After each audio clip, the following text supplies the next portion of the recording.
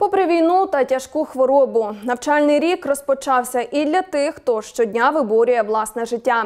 Між обстеженнями, ліками та крапельницями вони все одно тягнуться до знань. Як та де навчаються юні супергерої? Далі в сюжеті.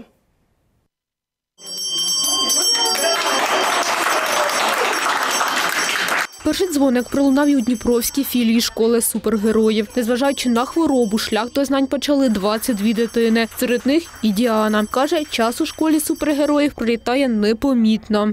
Ну, Тут дуже гарні вчителя е, преподають е, хімію, укрмову, зарубіжну літературу. Тут дуже е, много іграшок. Тут можна гратися, ходить и рисовать. Это приносит радость. Когда в школе занимаешься, или рисуешь, или играешь, или уроками занимаешься, и время пролетает быстрее. Діана в лікарні з квітня. У дівчинки виявили гострий лімфобластний лейкоз. Лікування складне та довге. Та навчання не покинули. Цьогоріч семикласниця пішла до школи супергероїв. Уроки дуже цікаві, вчителі дуже кваліфіковані. Ну дуже добре, що в цій лікарні є така школа.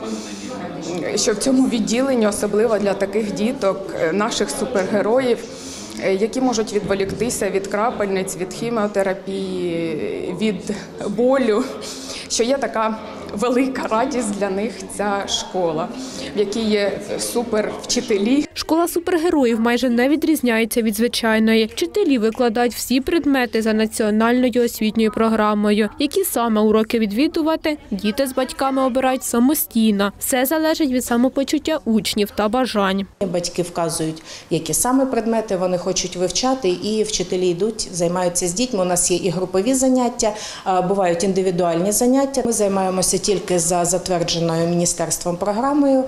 І діти після того, як виписуються з лікарні, вони можуть отримати свідоцтво, де буде прописано, скільки годин з якого предмету вони ем, відвідали, скільки прослухали. Дніпропетровщина одна з пілотних областей, де працює особлива школа. З 2020 року її відвідали вже 450 юних супергероїв. Наша основна концепція, щоб не поставити життя дитини на паузу, незалежно від тих умов і викликів, які сьогодні ставить її життя.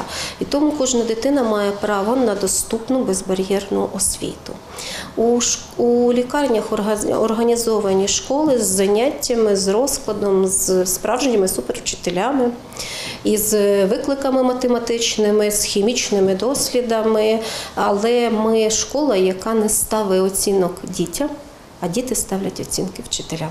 Світло радосна школа. Я Я йду у перший клас. Зустрічаєш. зустрічаю рада школа.